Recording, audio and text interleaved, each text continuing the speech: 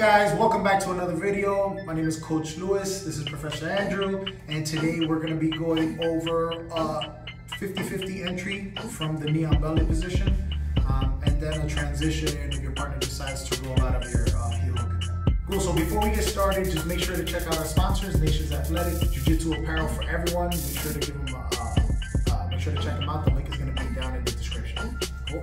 All right, guys, so we're gonna start in this knee on belly position here. And what we're looking to expose is when my partner hip escapes here and he turns his legs over to this side, I'm looking for that little bit of window so I can get my, my uh, shoelaces on my posted foot to go behind me just like this and trap his leg. So now my free hand is gonna catch his knee. As I sit back, I'm gonna shoot my legs through, get my knee behind his uh, knee as a wedge, and I'm gonna cross my feet here, entering the 50-50 position with the foot. Now, typically here, I can start turning to attack an outside heel hook, okay, which is gonna force my partner to roll, okay? So what I'm gonna do is I'm gonna start switching the foot to the inside position.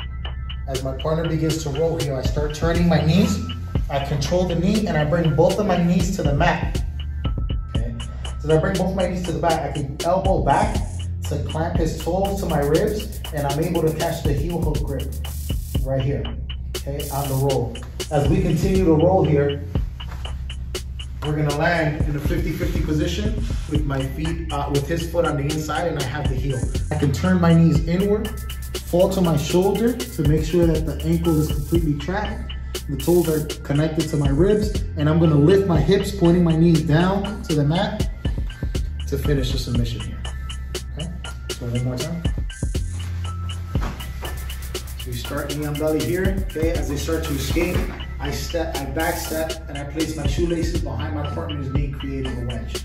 So my free hand is gonna collect my partner's knee, and as I sit back, I'm gonna get uh, that knee that was blocking his leg, I'm gonna shoot that knee through and create a wedge around his leg, okay, as I cross my feet. So now I'm gonna tilt my knees inside like this, which is gonna prompt my partner to start turning. So I start passing the leg over and I control my partner's knee. I place my elbow in front of the toes. I begin to rotate.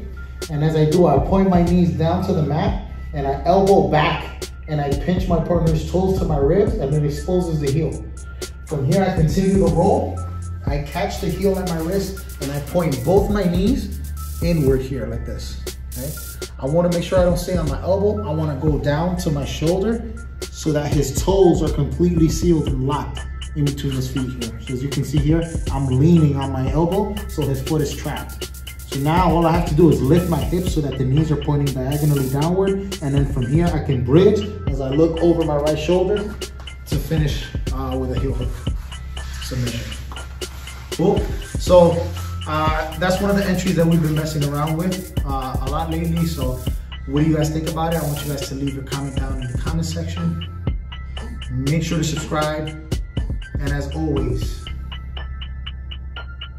for those who are already subscribed, mm, you get one of those. Thank you guys for coming back. We truly appreciate you guys. Make sure to check out Nations Athletic Jiu-Jitsu Apparel for everyone. The link is going to be down in the, uh, description. Also, make sure to follow our blog, Beware the Underhook, and stay tuned to the YouTube channel. Make sure you hit the, the bell for notifications, and I'll see you guys next time. All right? Peace. Thank you.